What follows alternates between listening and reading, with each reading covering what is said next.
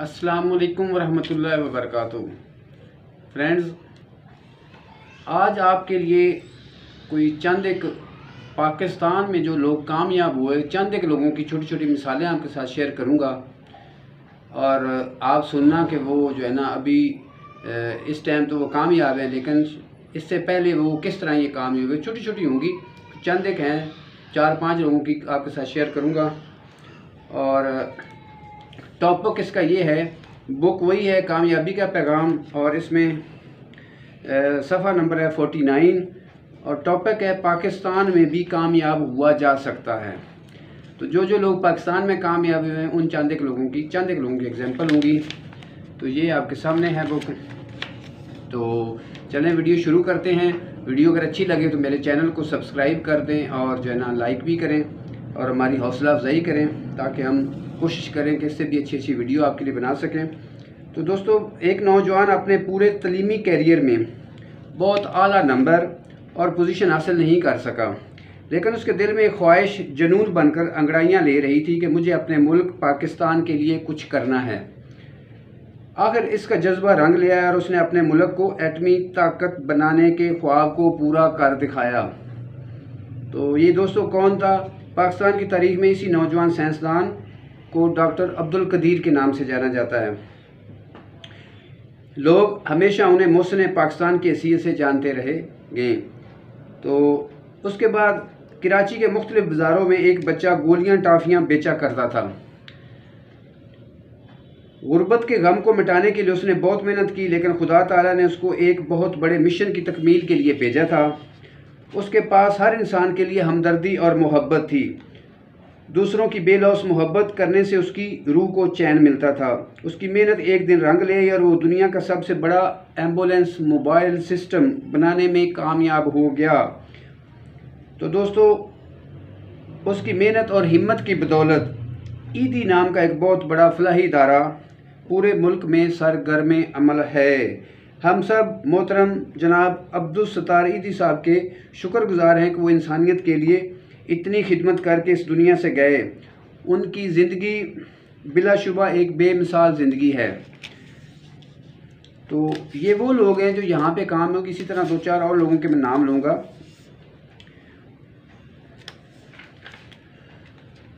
अच्छा उसे बचपन से ही पढ़ने का बहुत शौक़ था, लेकिन घर के हालात, उसकी पढ़ाई में रुकावट पैदा कर रहे थे। वाले साहब एक मज़दूर थे, इसलिए वो उसके तलीमी अखराज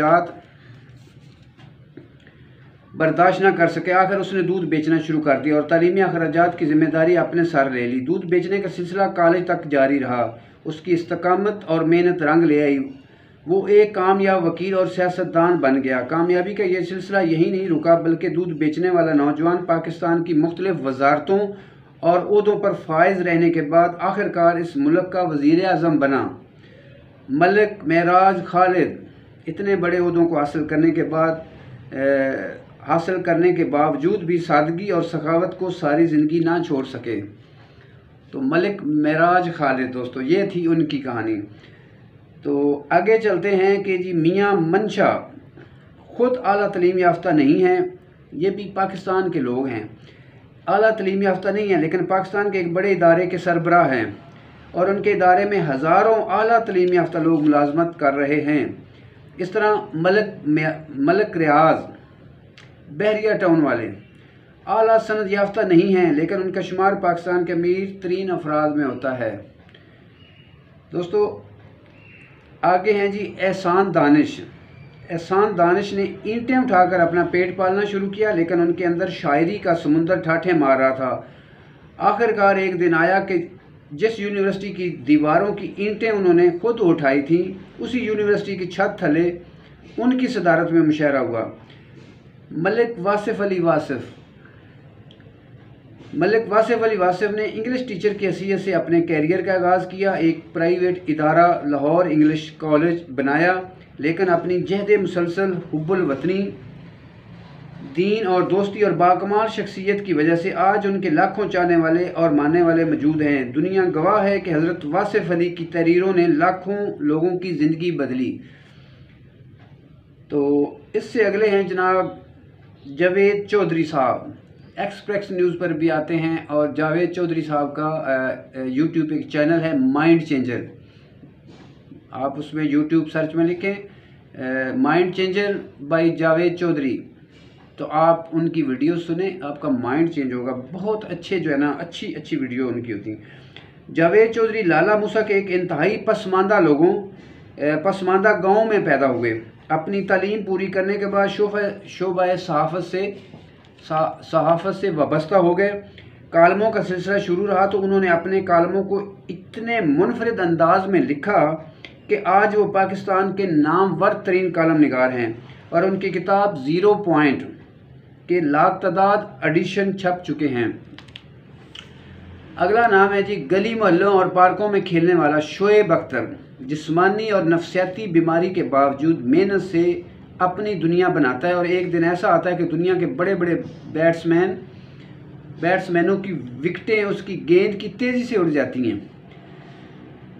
उससे आगे सखर के मजाफात में एक प्राइमरी स्कूल टीचर के यहाँ जन्म लेने वाला बच्चा, जिसने अपनी जहानत से ना सिर्फ़ सखर डिवीज़न में अपनी जहानत के पंजे गाड़े, बल्कि पाकिस्तान में कंप्यूटर साइंस में आला तरीन डिग्री के फुल ब्राइट फेलोशिप लेकर फ्लोरिडा से वर्चुअल यूनिवर्सिटी जैसे पचीदा और मुश्किल मौजू में अपनी पीएचडी मुकम्मल की।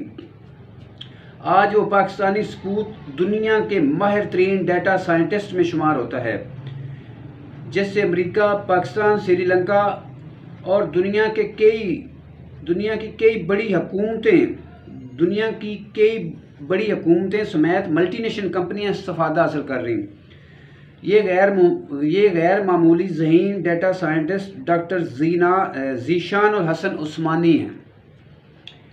अच्छा आगे चलें जी। आज के दौर की मरूफ तरीन मिसाल आरफा करीम रंधावा मरूमा हैं।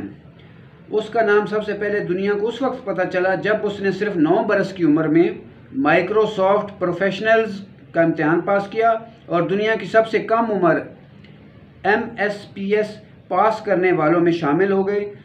शामिल होगी। इस आज़ाज़ में माइक्रोसॉफ्ट के बानी बिल गेट्स ने उसे अपने यहाँ बुलाया और उसे मुलाकात की। ये हमारे मुल्क में कामयाब होने वाले चंद लोगों की मिसालें पेश की गई। अगर इन तमाम कामयाब होने वालों के मतलब तफसीला लिखा जाए तो कई किताबें भर जाएँ। यहाँ हम कुछ सबक सिखाना चाहते हैं कि कामयाबी हासिल करने के लिए हर जगह कामयाब हो सकता है। कामयाबी हासिल करने के लिए हर जगह बंदा कामयाब हो सकता है। क्योंकि उसने खुद इस दुनिया बनाने क्योंकि उसने खुद अपनी दुनिया बनाने का अज़म किया होता है। जबकि नाकाम, बेहतरीन हालात और वसाइल के बावजूद भी नाकाम ही रहता है। बेशुमार नौजवान ये समझते हैं कि बाहर के ममालिक में ज़्यादा मौाक़े हैं। ये सच नहीं है, क्योंकि मौाक़े सिर्फ़ मेहनती के लिए होते हैं, काहल और सुस्त के लिए कोई मौाक़े अहम नहीं होते। यही वजह है कि हमारे बेशुमार नौजवान अमेरिका, बरतानिया और दूसरे ममालिक में अपनी ज़िंदगी बदलने के अज़म लेकर जाते हैं और वहाँ जाकर बर्तन धोने के चैम्पियन बन जाते हैं। वो ये नहीं सोचते कि इससे बदरजहा बेहतर है कि वो अपने मुल्क में मेहनत करके, मेहनत कर लेते और कामयाब हो जाते। ये अहम नहीं है कि आज आप कहाँ खड़े हैं? बल्कि अहम बात यह है कि आपने मेहनत करने के अज़म के साथ किन मंजिलों को तय करने का सोचा है? क्योंकि मेहनती के हाथ में मिट्टी सोना बन जाती है और कामचोर के हाथ में सोना भी मिट्टी बन जाता है। पाकिस्तान में हकीकी कामयाबी के मौाक़े बहुत ज़्यादा हैं क्योंकि यहाँ मुकाबला बहुत आसान है। ज़्यादातर लोग शौरी कामयाबी से नाबल्द हैं और लोगों की एक बड़ी तादाद बेईमान है, इसलिए यहाँ ज़्यादा आसानी के साथ तरक्की हासिल की जा सकती है। कोई भी अमानतदार, डॉक्टर, ठेकेदार, टीचर, बिजनेसमैन, मुलाजिम और सियासतदान बहुत तेज़ी के साथ लोगों के दिलों की धड़कन बन सकता है। इसके बारकस बारकस इसके बरकस तरक्की याफ्ता ममालिक में तालीम का मैार बहुत बुलंद है। अमरीका में कामयाबी का शहूर इतनी तेज़ी से फैल रहा है कि हर नए दिन वहाँ लातदाद लोग अमीर तरीन बन जाते हैं। हमारे यहाँ ये शूर आम नहीं, क्योंकि हमारे मुल्क के नौजवान फरसुदा तलीमी निज़ाम की वजह से फ़कत तालीम और डिग्री के चक्कर में पड़े रहते हैं और उन्हें इलम की असल अफादियत का अंदाज़ा नहीं हो पाता। पूरी दुनिया के नबे फ़ीसद करोड़पति, कामयाब लोग सेल्फ मेड गरीब गरीब घरानों की पैदावार हैं। गरीब घरानों की पैदावार और मामूली पढ़े लिखे हैं। लेकिन उन्होंने सख्त मेहनत और मुस्तकिल मिजाजी से अपने बुलंद अजायम को पाया। इसलिए आप ये यकीन अपने अंदर पुख्ता कर लीजिए कि आप भी पाकिस्तान में रहते हुए कामयाब हो सकते हैं। पाकिस्तान में कामयाब होने के लिए आपको इस्तकामत की ज़रूरत है, सब्र की ज़रूरत है और मेहनत की ज़रूरत है। इसमें ज़रूरी नहीं कि बहुत तालीम आपके पास हो, बहुत ज़्यादा टेक्निकल आपके पास तालीम हो। बहुत सारे लोग हैं, बहुत सारे कारोबार ऐसे हैं कि जिनकी लोगों की तालीम नहीं है और वो लोग ठीक ठाक पैसा कमा रहे हैं। जैसे कि आप एक गाड़ी का मकैनिक है, आप सोचें, गाड़ी का मकैनिक है आम आम लोग हैं, काम सीख के तो बैठे बैठे ठीक ठाक पैसे कमा रहे हैं। ऐसा ऐसा अगर उनके अंदर कोई थोड़ा सा शहूर अकल होता है तो वो ऐसा ऐसा अपना जम शोरूम बना लेते हैं। इसी तरह किसी फ़ील्ड में भी मकसद है कि बहुत सारे लोगों ने होटल बनाए हुए हैं। Hotel management. अभी वो ज़रूरी नहीं कि उन्होंने होटल मैनेजमेंट के कोर्स किए होंगे तो वो होटल बना के बैठे हैं। इसी तरह बहुत सारे करियाना स्टोर, बहुत सारे बेकरी वाले, दूसरे तीसरे, उसमें बहुत ज़्यादा लोगों की तालीम का वो नहीं है। तालीम ठीक है, अच्छी बात है, तालीम होनी ज़रूरी है, लेकिन ये है कि मुस्तकिल मजाज होना, सब्र होना, सब्र का होना और मेहनत का होना, ये सारी चीज़ें बहुत ज़रूरी हैं। तो दोस्तों, आज का ये टॉपिक था कि पाकिस्तान में कामयाब किस तरह हुआ जा सकता है? तो ये चंद एक मिसालें इसलिए दी थी कि ये ये लोग भी यहाँ पाकिस्तान में ही कामयाब हुए। इस तरह हज़ारों मिसालें हैं, बहुत सारी मिसालें हैं। पाकिस्तानी लोग हैं जो बहुत अच्छे अच्छे कामयाब हैं और पूरी दुनिया उनसे इस्ता हासिल कर रही। तो दोस्तों, आप लोग भी सब्र और इस्तकामत के साथ चलें और जिस तरह भी ये यूट्यूब फैमिली वाला साख्ताब है यूट्यूब पे कितना ये ये भी सबर अजमा काम है। यहाँ पे लोग इतना जल्दी परेशान हो जाते हैं। अगर कोई एक किसी की वीडियो देखता है तो वो फ़ौर उसको कमेंट्स कर देता है कि मैंने आपकी वीडियो देखी तो आप फ़ौर मुझे रिटर्न कर दें।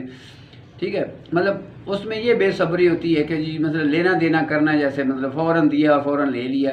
ये बातें नहीं हैं। मेरे भाई, अगर यूट्यूब पे भी आप काम कर रहे हैं तो आप काम करते जाएँ। आप अपने हिसाब से आप खुद जाएँ, लोगों के चैनल पे जाएँ, लोगों की देखें कि लोग क्या कर रहे हैं। उनकी वीडियो आपको अच्छी लगती है तो आप उनको सब्सक्राइब करें, उनको लाइक करें।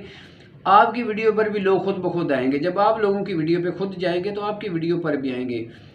तो यहाँ पे तो कुछ थोड़ा सा इस तरह का बना हुआ है कि बस अगर एक बंदा जो है ना किसी की वीडियो पे कहीं जो है ना मकसद है कि हाज़िरी नहीं उसकी हो सकी तो वो फ़ौर शिकवा आ जाता है कि जी आप बड़े दिनों से नज़र नहीं आ रहे। तो ये बातें नहीं हैं दोस्तों, इस तरह कामयाबियाँ नहीं मिलती हैं, ठीक है? हर बंदा अगर यूट्यूब पे काम कर रहा है तो उसके अलावा भी उस बंदे के हो सकता है कि पता नहीं कितने मसाइल होंगे, कितनी परेशानी होंगी, उसके पास टाइम है, नहीं है वो पहुँच सकता है कि नहीं पहुँच सकता। तो मकसद कहने का ये कि अगर आप लोग कर रहे हैं तो आप फ़ीस भी लीला करते जाएँ, मेहनत करते जाएँ, लोगों की हेल्प करते जाएँ, लोगों की वीडियोस पे जाएँ, लोगों को वीडियो देखें, सब्सक्राइब करें एक दूसरे की सपोर्ट बनते जाएँ, बस खुद ब खुद बनते जाएँ, आपको ऑटोमेटिकली उसका रिस्पांस मिलेगा। मेहनत करें, मेहनत का फल अल्लाह देगा।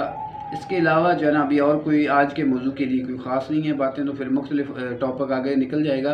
तो मकसद यही था कि यहाँ पर भी कामयाब हुआ जा सकता है।